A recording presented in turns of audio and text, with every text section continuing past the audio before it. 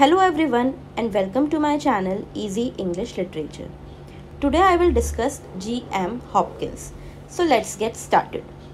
G.M. Hopkins was born in the year 1844 and he died in the year 1889. That means he was a Victorian writer. But क्योंकि इनके सारे he works इनकी death के बाद publish हुए तो कई बार इन्हें मॉडर्न राइटर में भी काउंट कर लिया जाता है इनका फुल नेम है Gerard Manley Hopkins Gerard Manley Hopkins and इनका जन्म हुआ स्ट्रेटफोर्ड इंग्लैंड में। अब इनके लाइफ टाइम में इनका कोई भी वर्क पब्लिश नहीं हुआ। सारे ही वर्क्स इनकी डेथ के बाद पब्लिश हुए और उन्हें पब्लिश किया रॉबर्ट ब्रिजेस ने, जो कि इनके फ्रेंड थे। No work was published in his lifetime his friend Robert Bridges published it posthumously अब हमें एक चीज़ और ध्यान रखनी है कि जन्म से ये एंग्लिकन थे, यानी ये एंग्लिकन रिलीजन से बिलोंग करते थे, मगर बाद में ये कन्वर्ट हो गए कैथोलिसिज्म में, यानी बाद में ये कैथोलिक बन गए इन द ईयर 1866 और फिर काफ़ी समय तक उन्होंने कुछ नहीं लिखा, और दोबारा से इन्होंने अपनी राइटिंग जो है वो रिज्यूम करी इन द ईयर 1875 और तब उनका वर्क आया the wreck of the Deutschland जो कि एक पोएम है। The wreck of the Deutschland ये काफ़ी लंबी पोएम है। Converted from Anglicanism to Catholicism in the year 1866 gave up writing and resumed it again in the 1875 with the rack of the Deuchelin जो कि एक पोएम है। He was a जेस्यूट priest हमें ध्यान रखना है कि वो एक जेस्यूट प्रीस्ट थे मतलब वो चर्च से बिलोंग करते थे चर्च के मेंबर थे। और इसलिए उनके ज़्यादातर वर्क्स की जो थीम थी वो गॉड मैन एंड नेचर इनके अराउंड ही रिवॉल्व होती रहती थी। गॉड के प्रति बहुत ज़्यादा डेडिकेशन था जी एम हॉपकिंस का, इसलिए इनकी थीम्स में भी गॉड रहते थे।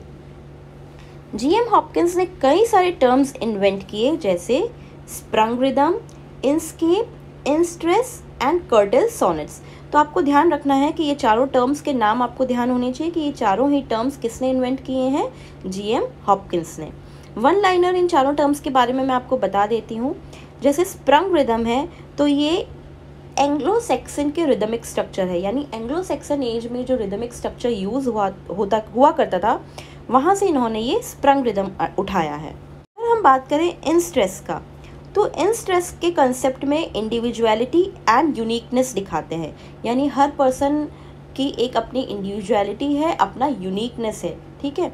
तो ये हमें ध्यान रखना है कि इन स्ट्रेस का जो कंसेप्ट है, वो है इंडिविजुअलिटी एंड यूनिकनेस और ये इंस्पायर हुआ है डन स्काउट से, जो कि एक मिडाइवल फिलोसफर थे।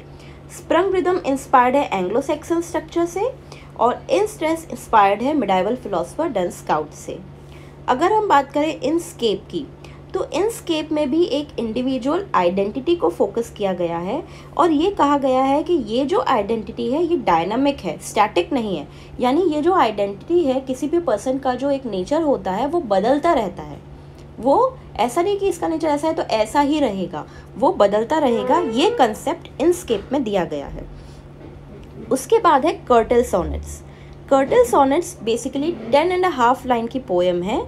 जिसमें जो हाफ़ या जो लास्ट लाइन है, उसको हम हाफ़ लाइन भी कहते हैं या कभी कभी एक लाइन भी मानते हैं।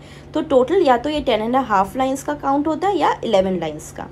अब ये इलेवन लाइन्स कैसे डिस्ट्रीब्यूटेड हैं कि पहले आएगा सेस्टेट यानी first six lines then quatrain four lines and then a tail piece यानी वन सिंगल लाइन तो sestet means six quatrain means four and tail piece means one six plus four ten plus one eleven तो इस तरीके से curtal sonnets G M Hopkins लिखा करते थे। अब हम आ जाते हैं मेजर वर्क्स में। मेजर वर्क्स में हम थ्री इंपॉर्टेंट सोनेट्स देखेंगे जो कर्टल सोनेट्स हैं। Pied beauty peace and ash boughs ये तीनों ही कर्टल सोनेट्स हैं और इसमें हमें ध्यान रखना है कि पाइट ब्यूटी का जो थीम है, वो है ग्लोरी ऑफ़ गॉड यानी गॉड का जो नेचर है गॉड की जो पावरफुलनेस है, वो यहाँ पे दिखाई गई है पाइट ब्यूटी में।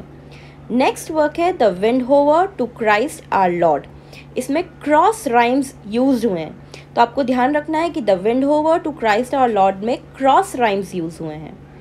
उसके बाद इनके इंपॉर्टेंट पोएम है द एस्कॉरल नेक्स्ट वर्क है no worse there is none and carrion comfort ये दोनों ही माने जाते हैं terrible sonnets number fourth and number fifth no worst there is none and carrion comfort ये दोनों ही काउंट होते हैं टेरिबल सोनेट्स टेरिबल सोनेट्स ये इसलिए नहीं है क्योंकि ये अच्छे नहीं लिखे गए हैं। इन्हें टेरिबल सोनेट्स कहा जाता है क्योंकि यहाँ पे फीलिंग ऑफ़ पेथोस दिखाई गई है। यानी बहुत ही ज़्यादा सैड सैडनेस यहाँ पे दिखाई गई है। इसलिए इसे कहते हैं, इन्हें कहते हैं टेरिबल सोनेट्स अब हमें ये ध्यान रखना है कि क्योंकि हॉपकिंस हमेशा गॉड की बात करते थे तो मिल्टन के बाद हॉपकिंस को माना जाता है greatest religious poet of England after Milton Hopkins is the greatest religious poet of England उसके बाद इनकी एक बायोग्राफी लिखी रॉबर्ट मार्टिन ने, जिसका नाम है Gerard Manley Hopkins a very private life is a biography by Robert Martin और ये कॉन्ट्रोवर्शियल बायोग्राफी है। तो हमें ये बायोग्राफी का नाम ध्यान रखना है, ये किसने लिखी है? रॉबर्ट मार्टिन ये ध्यान रखना है। दो सोनेट्स हैं जो टेरिबल सोनेट्स हैं no worst there is none and carrion comfort उसके बाद तीन कर्टल सोनेट्स हैं pied beauty peace and ashboughs pied beauty का थीम है glory of God cross rhymes used हुआ है the windhover to Christ our Lord में। That's it for Gerald Manley Hopkins, that is DM Hopkins. For more such videos, please subscribe to my channel and hit the bell icon. Till then, all the best, keep learning. Bye-bye.